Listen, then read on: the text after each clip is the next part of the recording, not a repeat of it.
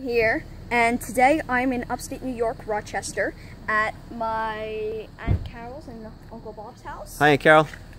No.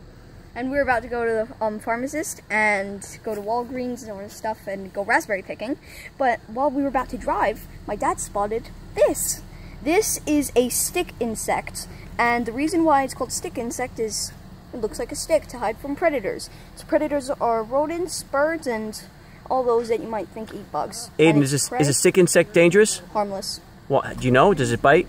No, it doesn't sting. It may look like it has a stinger, but sometimes that's used for latching onto sticks.